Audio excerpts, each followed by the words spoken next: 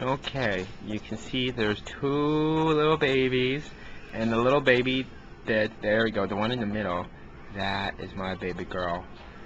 She was just brought up here, so she's not hanging out with her mom anymore, and that's got her a little upset.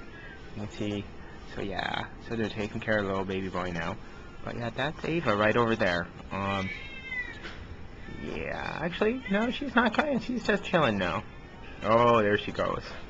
There she goes. We love her very much, and she's very cute. She has my ears and Lisa's eyes, and we have no idea whose nose she has. So yeah, um, you'll get to meet her sometime, I bet. So, love you. Bye bye.